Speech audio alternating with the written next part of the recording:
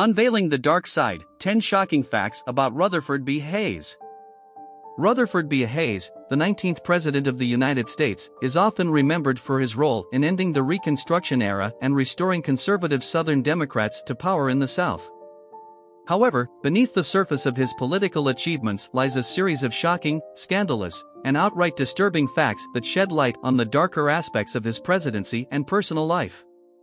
In this video, we delve into 10 of the most shocking facts about Rutherford B. Hayes that will leave you questioning everything you thought you knew about this American president. Fact number 1 The Compromise of 1877. Rutherford B. Hayes became president under contentious circumstances, with the Compromise of 1877 marking a pivotal point in U.S. history. In the 1876 election, Hayes lost the popular vote to his opponent, Samuel J. Tilden. However, 20 electoral votes were in dispute due to allegations of voter fraud and intimidation in Florida, Louisiana, and South Carolina, all southern states with substantial African American populations. To resolve the deadlock, a bipartisan commission was formed, ultimately awarding all 20 contested electoral votes to Hayes.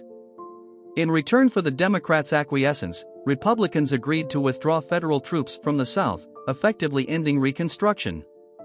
Critics argue that this compromise abandoned African Americans in the South to the mercies of white supremacist governments, laying the groundwork for the implementation of Jim Crow laws that enforced racial segregation and disenfranchised black voters for decades.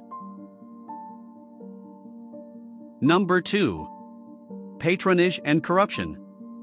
Despite Hayes's commitment to civil service reform and reducing the corrupt practice of patronage, his administration was marred by instances of cronyism and corruption. Hayes's Secretary of War, William W. Belknap, became embroiled in a bribery scandal involving the illegal sale of trading posts at military forts. Belknap resigned in disgrace in 1876, just before the House of Representatives was set to vote on his impeachment. While Hayes was not directly implicated in the scandal, the incident highlighted the pervasive culture of corruption in Washington, challenging Hayes's image as a reformer and casting a shadow over his presidency. Number 3. Lack of support for women and minorities. During Hayes's presidency, there was a notable lack of progress in advancing the rights of women and minority groups. This can partly be attributed to the social and political climate of the time, which was not conducive to such reforms.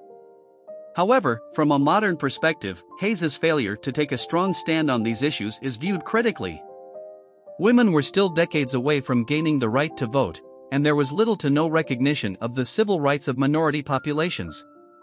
Hayes did not use his presidential platform to advocate for these marginalized groups, reflecting the prevailing conservative attitudes of the era but leaving a legacy that lacks in commitment to social justice and equality.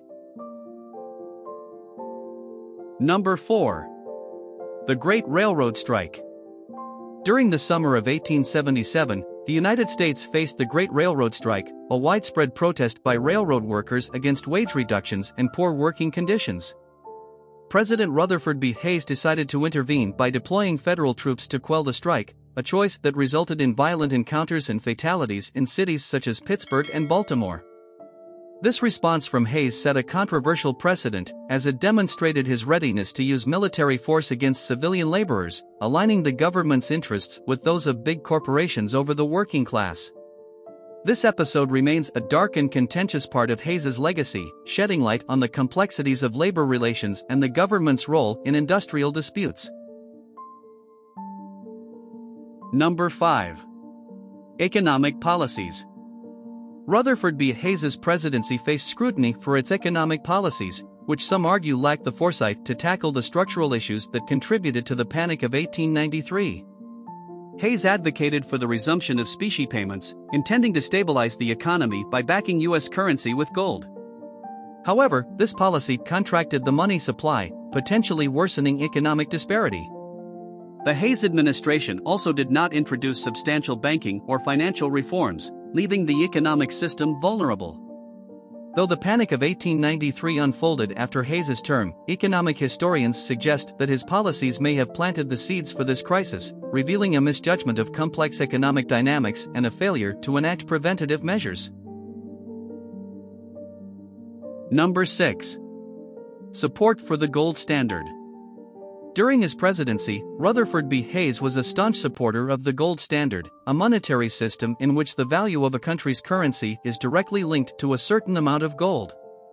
In 1878, he faced a significant challenge with the Bland-Allison Act, which proposed to increase the money supply and promote inflation through the coinage of silver. Proponents argued that this would benefit farmers and small debtors, but Hayes believed it would devalue the currency and harm the economy. His decision to veto the Bland Allison Act was controversial and highlighted the deep economic divisions of the era. Although Congress overrode his veto, the episode reflected Hayes's commitment to sound money policies, even in the face of popular opposition. This decision had long lasting impacts, contributing to the monetary debates that would dominate American politics for the next several decades. Number 7. Nepotism and Political Appointments. Hayes's presidency was not immune to accusations of nepotism and favoritism in political appointments. Critics pointed to instances where personal loyalty appeared to outweigh competence and qualifications in the selection of officials. This perception of cronyism tainted his reputation and undermined his professed commitment to civil service reform and meritocracy. While Hayes did take some steps to reduce patronage and corruption, these instances of perceived favoritism cast a shadow over his efforts, contributing to a mixed legacy on issues of government integrity and transparency. Number 8. Handling of Native American Affairs. Rutherford B. Hayes's administration perpetuated the 19th century policy of forcibly assimilating Native Americans into European American culture, often resulting in the loss of indigenous lands and traditions. Justified by a paternalistic belief in the superiority of European American culture, this approach had devastating impacts on Native American communities. The administration played a role in implementing the Dawes Act in 1887, which aimed to dismantle tribal lands and allocate parcels to individual Native Americans in an effort to encourage agriculture and assimilation. However, this policy led to the loss of millions of acres of native lands, further marginalizing indigenous peoples and leaving a legacy of injustice and dispossession that remains evident today. Number 9.